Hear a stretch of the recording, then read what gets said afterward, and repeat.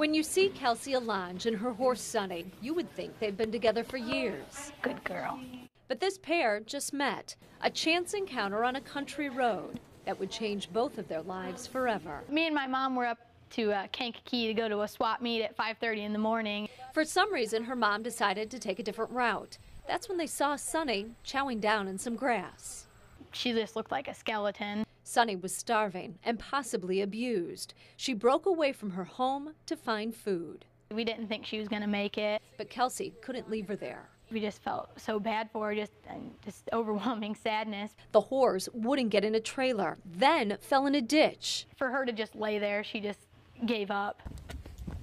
But Kelsey wasn't giving up on her. We decided there wasn't anything else to do but walk her home. Home was nine miles away.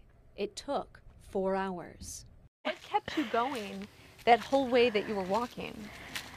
I, I guess just the idea that a life's a life and no matter how small it is, she needed saved. So mm -hmm. it was, my pain was, wasn't comparable to what she was in, so. And that was intense pain she was in? Yeah. The horse had whip marks, an eye swollen shut, and her backbone was sticking out three inches. Her back knees were swollen and rubbed raw. What kind of person can do that to an animal? I mean, you know, willingly go to bed every night knowing that she's out there starving. They were finally home, but not out of the woods. Just because she was home with us didn't mean that she'd pull through. Kelsey slept in the barn for five nights. If Sunny was going to die, Kelsey didn't want her to die alone. And I didn't really sleep very good. I pretty much woke up every hour and just peeked in on her, you know. Well, I wouldn't have slept out here five nights, I don't think. Maybe like two tops, but you know, I was like, Kelsey, come on, you can come in the house. But Kelsey stayed and Sunny lived. She's just like my little baby.